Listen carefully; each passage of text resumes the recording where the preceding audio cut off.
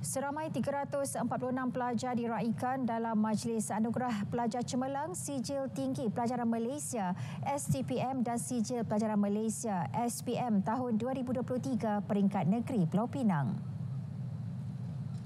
Timbalan Ketua Menteri Satu Pulau Pinang Datuk Dr. Muhammad Abdul Hamid berkata ia sebagai penghargaan kerajaan negeri kepada pelajar di Pulau Pinang yang memperoleh pencapaian terbaik dalam peperiksaan tahun lalu.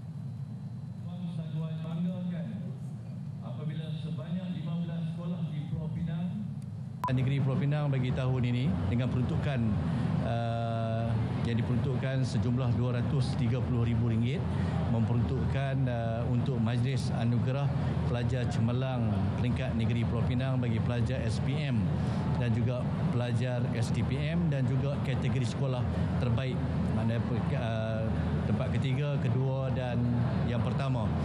Jadi alhamdulillah dengan kehadiran yang ramai pada hari ini kita dapat melangsungkan uh, majlis anugerah uh, pada hari ini.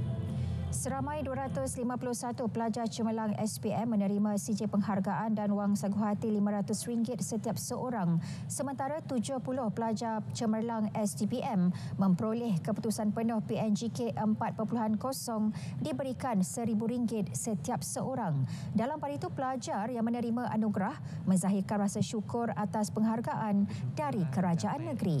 Terima anugerah daripada Timbalan Menteri sendiri kan saya pun datang jauh-jauh daripada KL ni rasa macam apa worth it lah worth it. Kalau lepas dah habis eh, apa degree nanti insyaAllah boleh lah datang balik Pulau Pinang berbakti pada Pulau Pinang. Bangga dan bersyukur kerana dapat anugerah uh, daripada Timbalan Menteri.